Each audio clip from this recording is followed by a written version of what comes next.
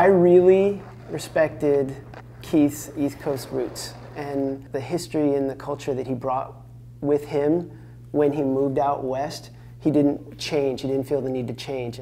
And we were a Northern California company, man, and we were just, you know, we were in the pocket of it, and holy shit. If we bring Keith in, it makes it that much fucking radder, a, a full melting pot. This is when Embarcadero's like fucking hot as ever, you know, it's like 100 people there skating every day. You know, I didn't know anyone. There's definitely pro skaters there. You gotta kind of like ease into the situation. So I remember just being shy about it and, you know, not like charging in there and trying to be some dude or anything like that. Yeah. and he skated good. I think that always served people well coming to Embarcadero, that, that combination. Quiet dude who skates good and is not trying to be friends with everybody. It's like the perfect assimilating blend. Skateboarding was progressing so fast, and, and, and there was like this technical side of skateboarding that was going on in Embarcadero. But I think the way that he skated and what he brought to that table was respected by all those different kind of groups where if someone would just skate down there and they couldn't do a bunch of tricks, they're a T-dog or something, you know, like an older dude or something. But Huf, the way that he skated could transcend, and I think that, that made him different than all those other guys. He's always been a pretty powerful skater, like a really good push. His ollie skills are intense. Like, you know, I've seen him like ollie over the front of cars with just little bumps and stuff and the guy's incredible pop, you know? Yeah, the first time I seen Huf skate, I think me and a little crew, Dandra Hobel and Matt Pales, we skated up to Brown Marble. Huf just ollied up the block, tray flipped to the next block, and we were just like, holy shit, never seen anything like that before. Just effortless and beautiful Huf style. He was all about just pushing and ollieing over everything, like the way you do in New York. He definitely took that style over there. Because SF was like, SF is pretty much a mini New York, but it just has the hills. So it makes it a bit harder. But he utilized it, just blew the SF kids away like with style. He kind of looked like a raver at first for a little bit, and then all of a sudden he got this really cool kind of helmet style, Beatle style haircut. He was just a rock star from then on. And oh man, I don't know why he did the helmet head, but he did the helmet for some reason and ran with it for a while. I think close to a couple years there with the helmet going off. And he got a bunch of tricks on that with that hairdo. I did the uh, the big bleach blonde hair.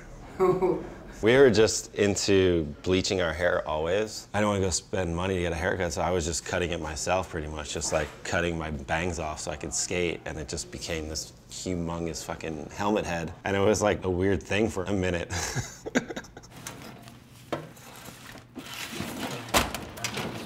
He was always like a really hard worker and him flying around and getting on stuff that's way higher than anybody else is getting on and lends itself to better photos.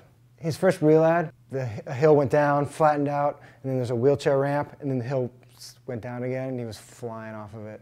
It's so high for that bump. Basically, every day, Gabe would just pick us up and we'd just go skate. So it was like we were getting coverage every single day. He was like super photogenic, like that kickflip at Black Rock, and all these cool things around the city. You know, he's such a like city skater. Like he grew up in a city, so when he came to San Francisco, he can skate everything. Every trick that we were doing or someone was doing, he was doing two feet higher.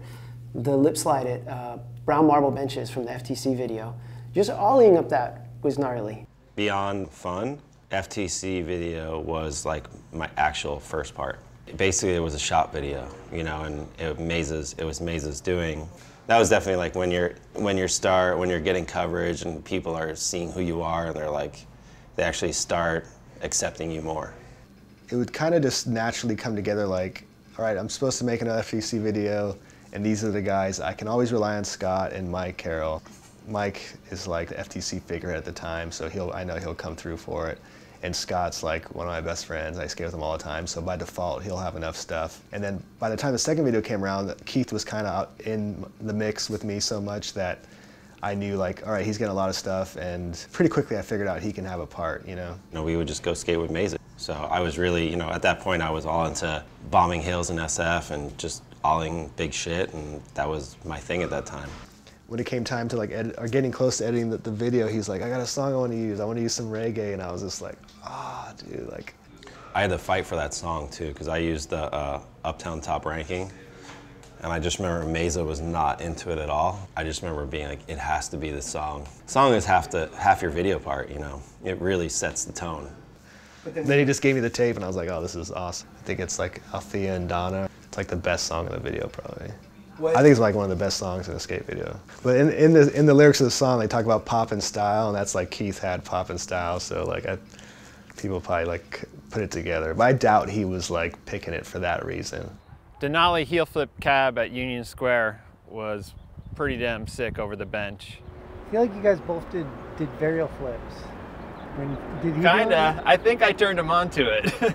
Because like a lot of people don't do that trick or weren't doing it. yeah. I think it was like uh, a late 80s trick, and either you did them well or you didn't do them at all. And I think some people were just scared to do them because they didn't want to be known as the varial flip dude. Back then, Huf was always wanting to skate. He was a skate rat.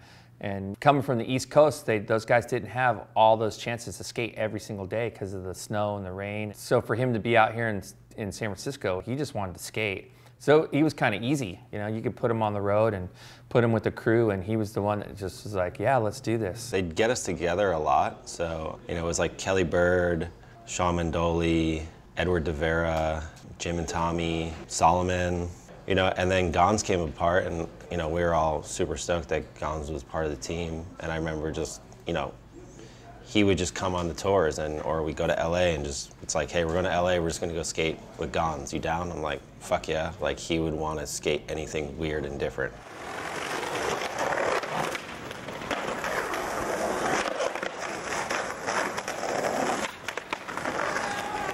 The first tours I actually did with Huf was when I ended up working for DC, and then we were doing DC tours together. I was on DC shoes for five years. It was Colin and Danny and Dyrdek. Then they put on like their next kind of like up and coming team, which was like me and Scott and Caine Gayle and Carl Shipman, Moses Itkonen. It was, you know, there was a whole crew of us, and we were like the beginning of DC to some degree. With shoes in the past, it was just like Vans or whoever's just sponsoring like many people just giving them two to four pairs of shoes a month, not really doing anything with them. So DC was going to approach it differently and try to build like a, a, team. I don't know. I think we were all pro, but we were like the AMs of DC. Then there was like the superhero guys like Rick, Mike, Rudy, you know, Dyrdek and Colin, Danny, of course. We were on the beginning DC Super Tours. It was get the whole entire team, go to Europe and do big time demos. It was a Big Brother tour with a four-on-one video. So we definitely partied. We definitely went nuts. We definitely did crazy shit. And we did amazing demos. It was something different because demos were just like 12 guys roll out of the van, two guys skate. And like this felt like way more professional in the regard of like, hey, we're gonna go and put on a show here. Present it as like more than just like some dudes dicking around at the skate park and, and hanging out smoking weed in the parking lot. It was actually really good. You know, they made jerseys for us. Every person had a jersey name. And I remember the first demo, they were like calling everyone's name and people were roaring. And I was like, what the fuck?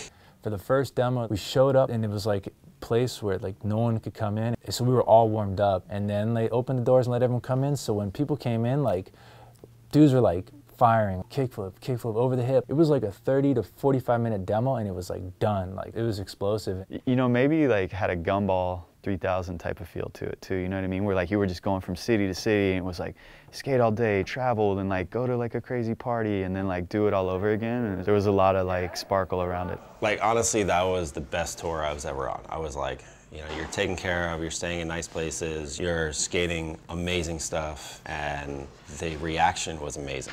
I mean, really, at the end of the day, like the, the fallout from DC was that those guys were killing it. It, it wasn't a big secret to the riders. I mean, uh, it comes down to he wanted a shoe, and I don't think they were intending to give like another shoe to any of us. Hang on! And Keith was, he wanted it, and Tim saw that opportunity, and he, he got a hold of him. DVS was like, hey, we can come over here, we can do a pro shoe and Keenan was there too, so I was like attracted to that. And you know, I talked to DC, and I was you know kind of just weighed out my options, and they weren't really going to do anything for me at that time. So I went over to uh, DVS.